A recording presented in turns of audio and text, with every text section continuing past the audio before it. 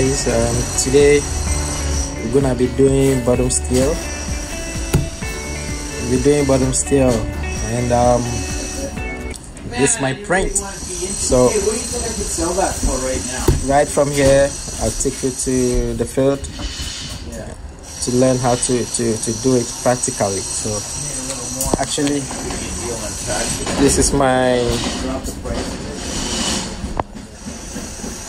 level 1 this is my level level P1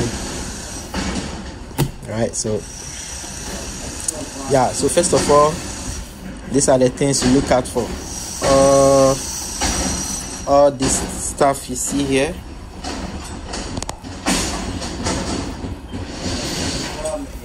All this stuff you see here are my columns.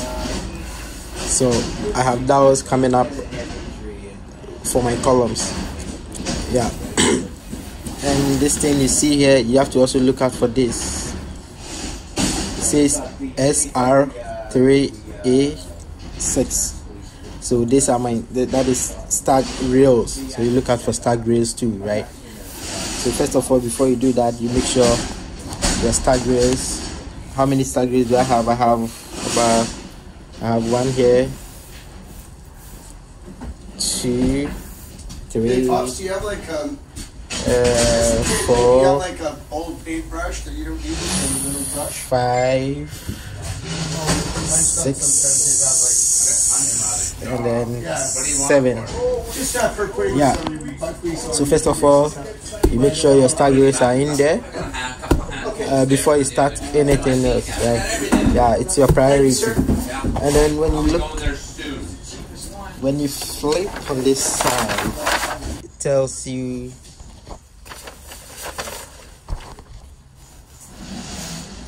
tells you right here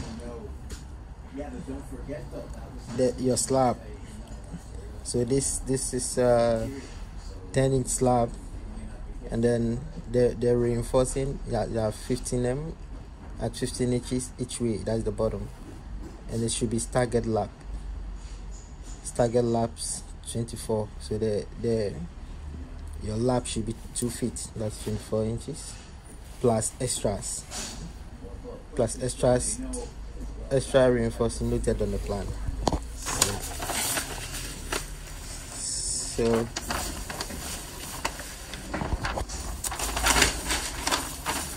so basically uh this thing you see is my top steel. I run all the columns. Are all top steel but we'll do that another day. Today we're gonna focus gonna focus on the bottom steel. Yeah so to to to notice your your extras. You can see it here. See? Is Joe not here right now? Ah, yeah, I think it's this just at the these are your extras and they are 20 m. And you see where the arrow goes? The arrow goes right from here all the way all the way down here. Okay, talk to me later. Okay. yeah so that that that's the extra. This is 20 m 20 foot 21 foot at 30 inches.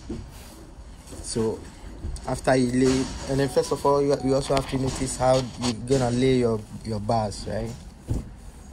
Uh it tells you here. So wait wait you see the dotted ones? Are uh the the bottom still and the solid lines here? Zigzag here? They are your your top steel right? So it tells you how it, how you want your bars to be laid so this right here is your north the, the knot the knot of the building right? So those are the things you look out for. You look out for those things so it tells you you want your upper layer upper bottom upper, upper bottom layer facing the north. That is not not to south not to south. And then you want your uh, lower layer bottom that that that will be going from east to west okay so yeah basically this all it is it, you need to know before you start anything so let's go let's go on the field and i'll show you practically how it's done right okay. yo guys this is how bottom steel is made like I show you from the print. This is the practical aspect of it. So these are my stag wheels.